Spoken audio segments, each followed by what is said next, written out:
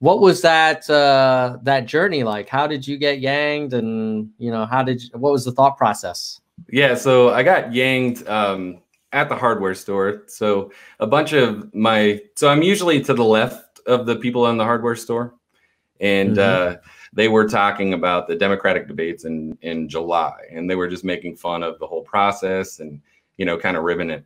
And uh, one of the guy goes, one of you know the people that work for me goes, uh, um, and I respect his opinion quite a bit. And I thought he was make uh, just making a joke, but he goes, "There's only one guy I like, and he's that that Asian guy that uh, wants to give everybody money."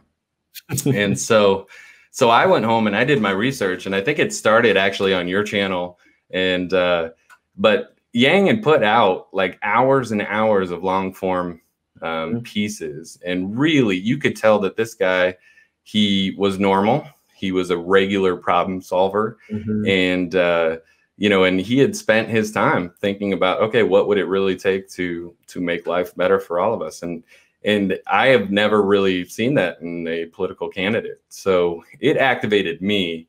Um, you know, we all have political opinions where it's like, ah, this this sucks, that sucks. These these people are terrible.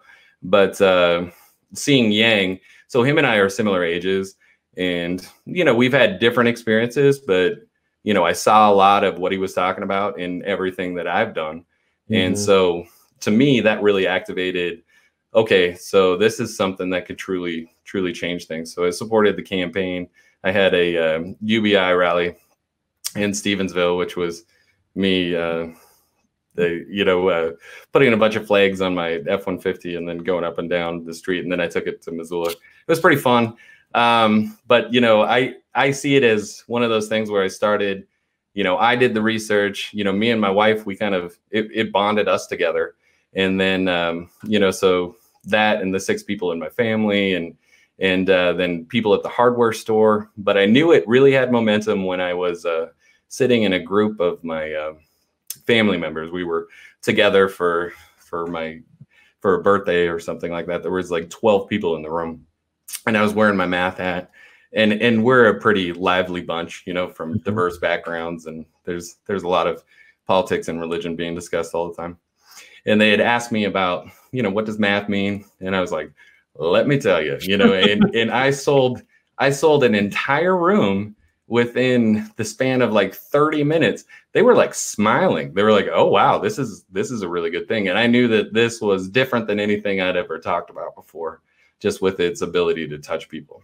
So. Totally. Yeah. I remember I had um, dinner with a bunch of uh, former uh, grad school classmates and lots of Republicans. Uh, and we were talking about the race. And at that time, Yang was still in it.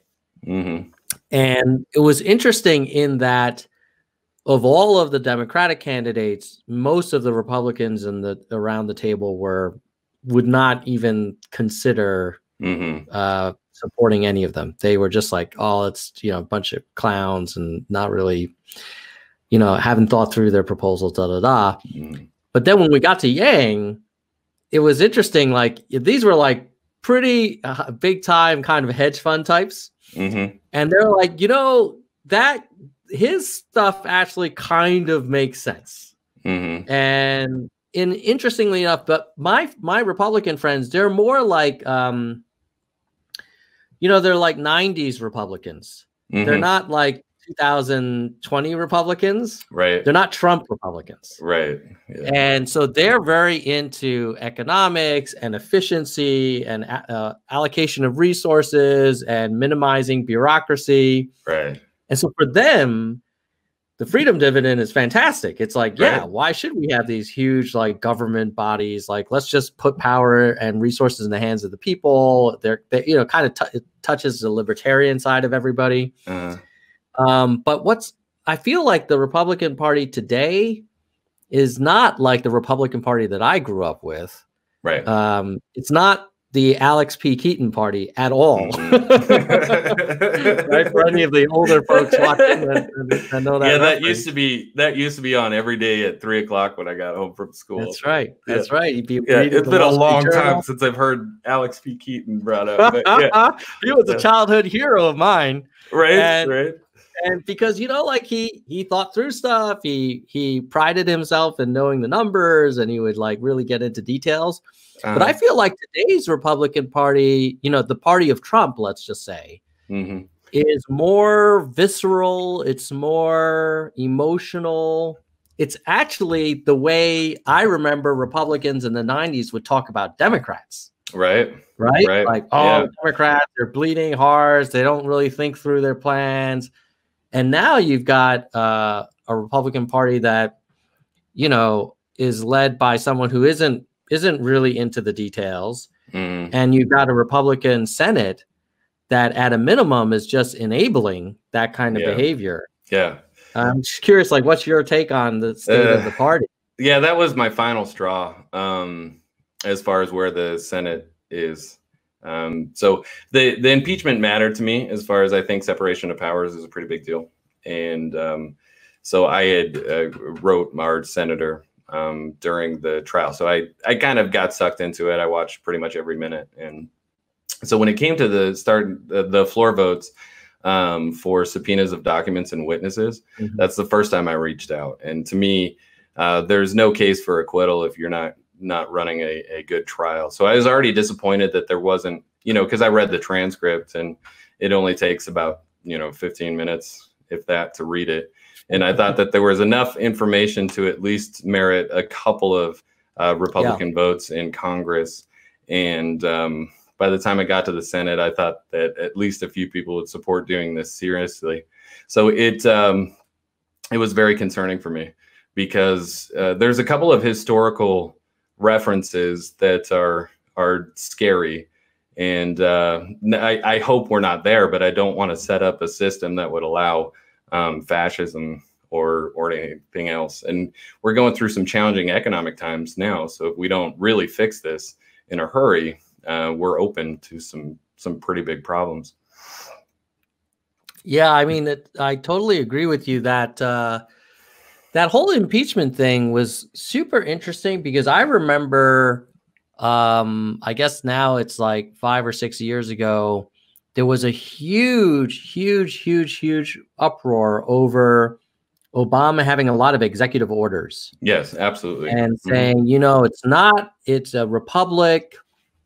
You know, he doesn't understand the founding fathers, the genius of the co equal branches Mm-hmm. And now he can't get anything done in the Congress, so he's just writing these ex- executive orders. And is this obvious, like, you know, this uh, kind of emperor-like abuse of power? Yeah. And then none of that seemed like that whole line of thinking went out the door. And then even before that, I remember the Tea Party mm-hmm. talking about balancing budgets and mm-hmm. fiscal responsibility. And I just feel like Trump has just kind of like uh, changed the whole game and sure. everything that was sacred, all of like the core values of the party have been thrown out the window. Yeah, they, I think they're just walking over to where they think the base is, uh, where they think that the mm-hmm. votes are, and um, I think that that they're throwing the party away when they uh, go down that long tail, you know, and try to get those really far right voters. I think that they're we need to have messages that actually come from the center. And I think we need to be more independent of, of corporate uh, influence as well, because uh, the corporations are running the establishment of both parties, and the Democratic, or I'm sorry, the Republican Party has a really big issue right now with just a lack of sort of not even sort of it's it's a lack of like individual conviction does that make mm-hmm. sense so yeah we don't really have a McCain sitting there. I mean, I guess we got a little Mitt Romney sitting there um, trying to uh, be the voice of dissent. And then like Justin Amash, when he peeled off, I you know that I found that pretty pretty interesting um, as far as he's he's able to have an independent voice. And I thought more people were going to gravitate towards you know what he was doing. And I've just been shocked. Over the last three years, it feels like we all got a, a, little bit of PTSD. But yeah, it's uh I do feel like losing McCain was a big loss for the country. Yeah. Um, you know, I I did not support him when he was running for president. I, I was very troubled by his vice presidential presidential choice. what do you mean? I mean, come on, that was such a normal normal choice, right? right, right, right. That's what happens when you throw a dartboard. Be like, okay, well, we want somebody that's like this, you know? Yeah, yeah. I mean, that was a that was a hail mary, clearly. Mm-hmm. Um, but I do I do appreciate. I did like him when he was running against George W. in the primaries back. Yeah. You know, Actually, uh, it, I, I I could have seen that would have brought a whole new new world of Republicans into the party. Um, yeah. And then if he would have, it, if you remember the primaries from that season, that's when I really, that's when I discovered that the establishment was so terrible.